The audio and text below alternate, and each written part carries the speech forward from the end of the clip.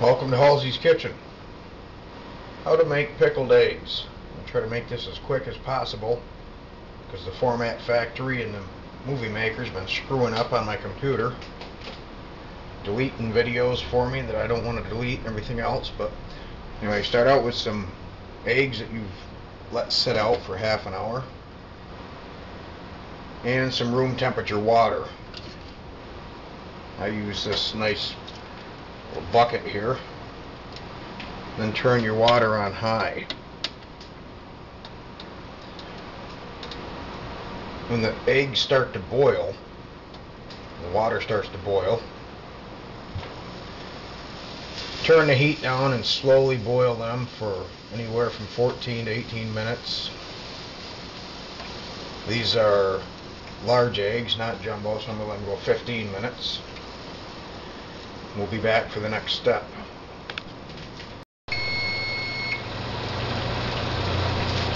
Okay, after 15 minutes, transfer the eggs immediately to cold water. Add a little sugar. A lot of people use salt. I'm just going to use sugar. Let these sit in there for 15 minutes. Even add some ice cubes. Cool the eggs down good before you start peeling them. After I get them peeled, we'll be back. I got the eggs peeled. They peeled really nice and easy. Got the jar half filled. I'm going to add the spices now. Half a teaspoon of whole black peppercorn. Half a teaspoon of crushed red pepper flake. Am I saying half a teaspoon? I mean half a tablespoon. Half a tablespoon of pickling spice.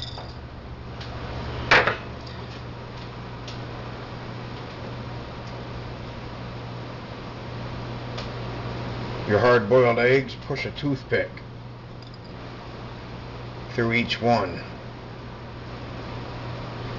so the middle can get pickled easy.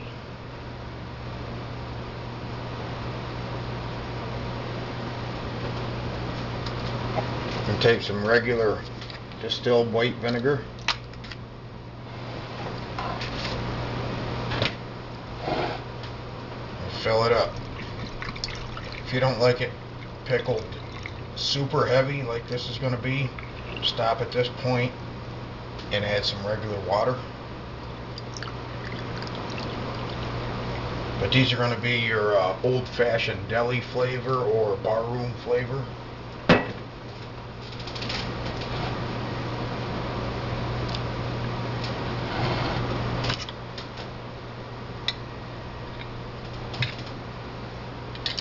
Cap it off.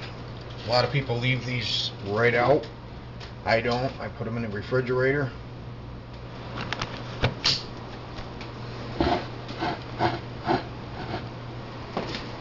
Anyway, that's what you got. Thanks for tuning in. We'll see you next time.